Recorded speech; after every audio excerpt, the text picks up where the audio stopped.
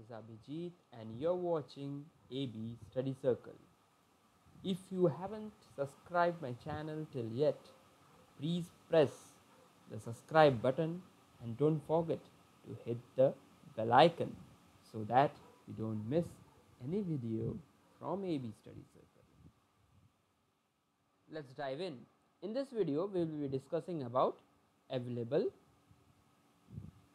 energy. In short, it is written as AE. Okay. For a cycle, maximum work obtained obtained for a given heat input is AE that is the available energy. See in a cycle the maximum work will be obtained when the cycle is operating reversibly.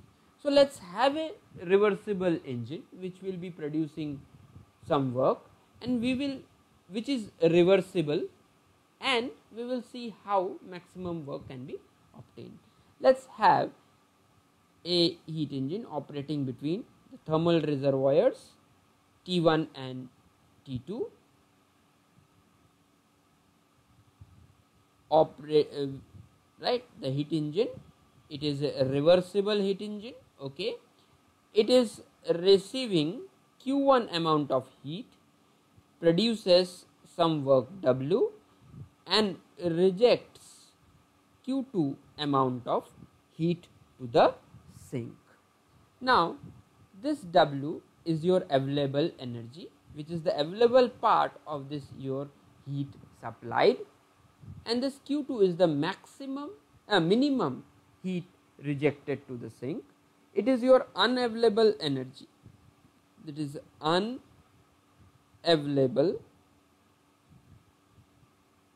energy. Right? It is the unavailable part of your heat supplied Q1 okay now let us have the efficiency of this engine that is W by Q1 or as it is a reversible it can be written as 1 minus T2 by T1. Okay. So, for having maximum work output the efficiency should be maximum and for the maximum efficiency for a given source temperature T1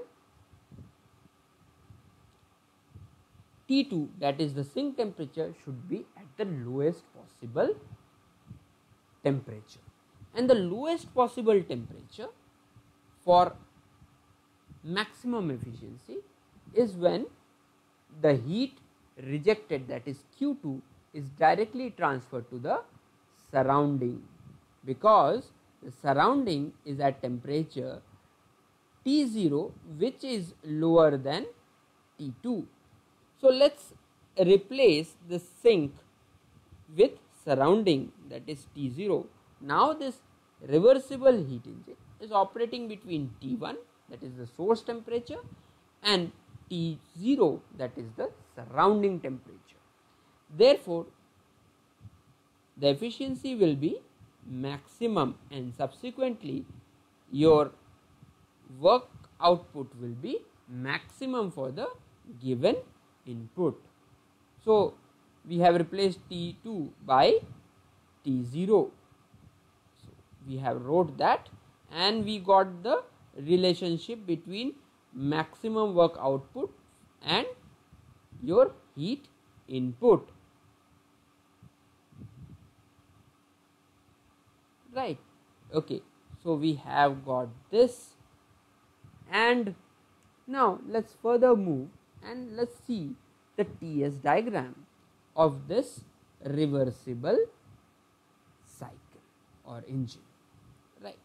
So, let us clear this thing up and let us draw a TS plot for this heat engine that is operating in a reversible cycle which is operating between T1 that is the source temperature and T0 that is the surrounding temperature and produces a W max work output with a heat supply of Q1 with the temperature T1 and heat rejection Q2 to the surrounding T0. Okay.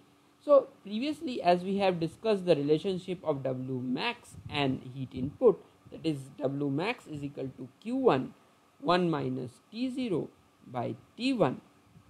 Let us open the brackets Q1 is uh, minus T0 Q1 by T1. See as this is a reversible cycle that means the entropy is nothing but heat supplied by temperature right. So,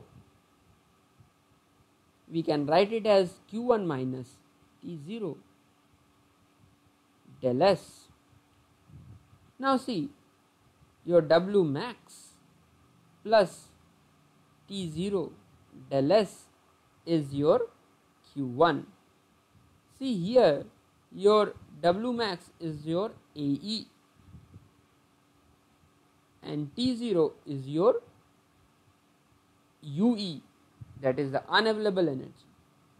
This is Q1 that is the this W max is your available part of your heat supply and T0 del S that is nothing but your Q2 is your unavailable part of your heat supply. Again many of the